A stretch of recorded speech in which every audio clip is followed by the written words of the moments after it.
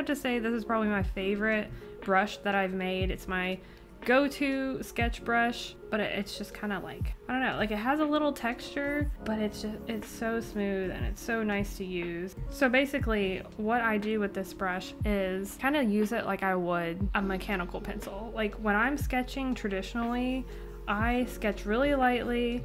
I'm trying to like get the basic shapes down and then i will go in after that and like put a little bit more pressure to, I guess, define the different areas that I've already laid out the, the lighter sketch line.